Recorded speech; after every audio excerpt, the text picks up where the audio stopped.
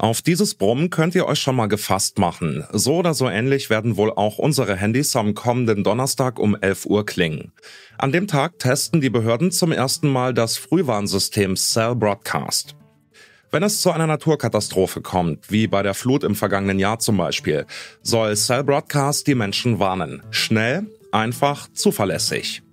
Wie funktioniert das genau? Und rettet Cell Broadcast den Katastrophenschutz, der im Ahrtal so fürchterlich versagt hat? Darum geht's heute bei uns. Ich bin Johannes Schmidt. Hi. Zurück zum Thema.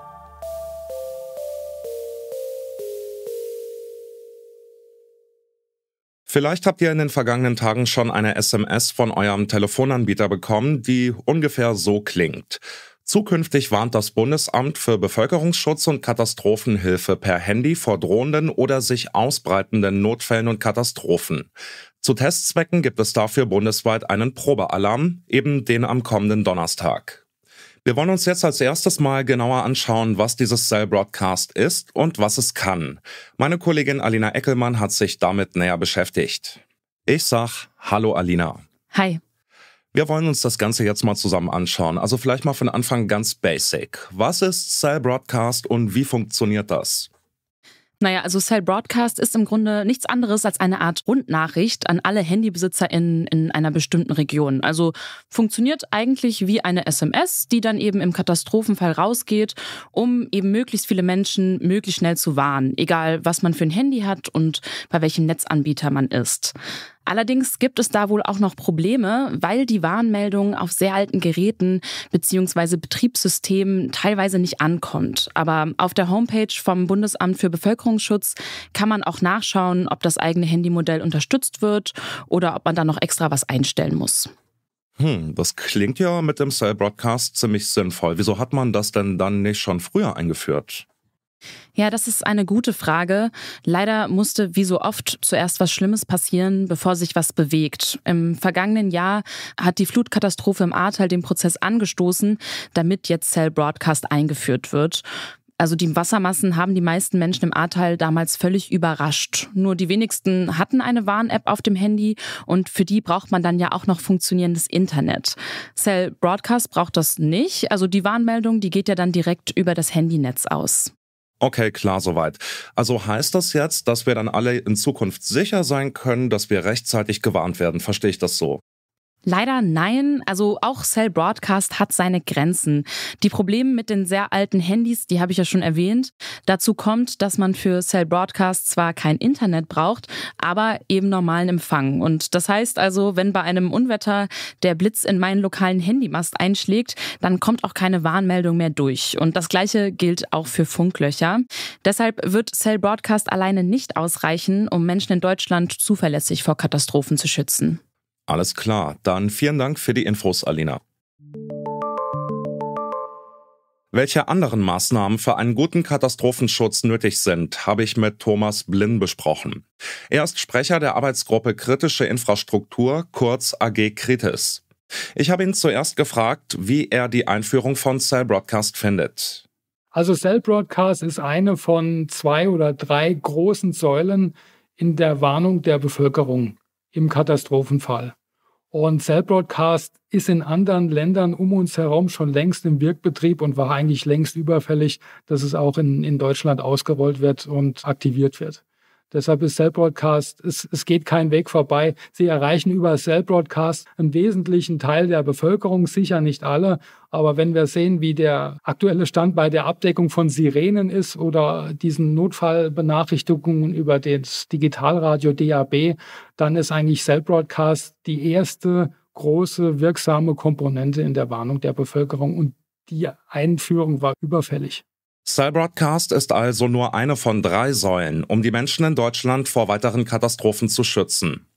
Nach Thomas Blinds Einschätzung wäre die zweite Säule dann ein flächendeckendes Warnnetz mit Sirenen.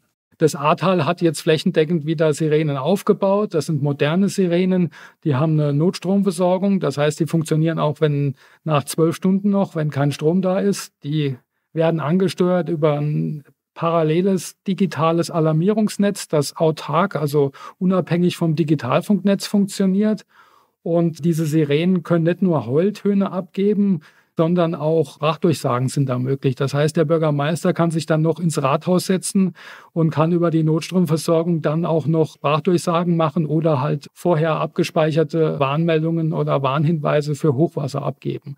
Also da ist es Ahrtal, da hat man halt jetzt daraus gelernt, hat über die Fördertöpfe eifrig Sirenen bestellt, hat die auch aufgebaut und hat die vor zwei Wochen getestet, ja.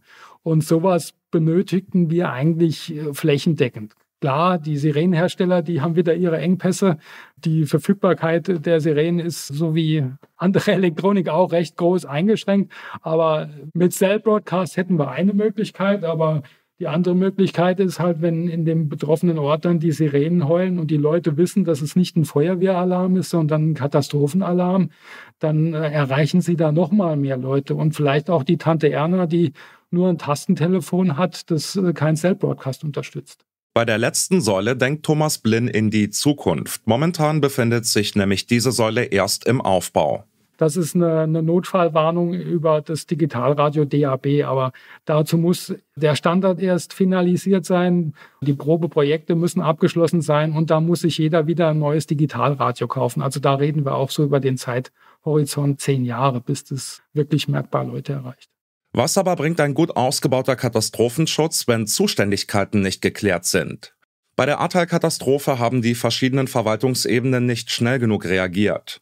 Deswegen habe ich Thomas Blinn auch noch gefragt, wer denn jetzt dafür zuständig ist, die Warnmeldungen über Cell Broadcast rauszuschicken. Das Bundesamt, also der Bund mit seinem Bundesamt für Bevölkerungsschutz und Katastrophenhilfe, ist eigentlich nur im Verteidigungsfall also sprich eine feindliche Macht greift unser Territorium an, zuständig. Und das BBK hat jetzt auch die Zuständigkeit für Warnung der Bevölkerung. Also so koordinierende Aufgaben wie jetzt, es wird bundesweit ein Cell-Broadcast-System aufgebaut. Das ist Sache des Bundes. Und auch die technischen Schnittstellen, also Wer stellt die Server auf? Wer definiert die Schnittstellen zu den Mobilfunkbetreibern, dass wenn man denen die Daten schickt, die auch über Mobilfunk rausgesendet werden? Wie kriegen die Rettungsleitstellen die Anbindung? Ja, das ist auch Sache des Bundes. Mal grundsätzlich für Katastrophenschutz ist, sind die Kommunen zuständig. Fast 200 Menschen sind bei der Flutkatastrophe im vergangenen Jahr ums Leben gekommen. Mit einer frühzeitigen Warnnachricht auf dem Handy wären die AnwohnerInnen wohl nicht völlig von der tödlichen Gefahr überrascht worden.